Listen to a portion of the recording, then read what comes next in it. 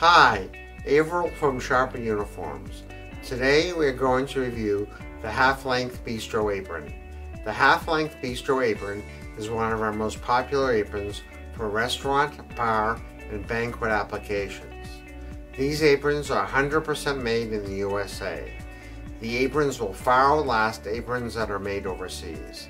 Bistro aprons are available with patch, inset, and split pockets, and pen divides.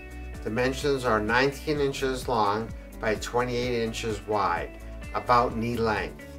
Two patch pockets with a center divide, each 8 inches high by 7 inches wide. Apron ties are 36 inches long.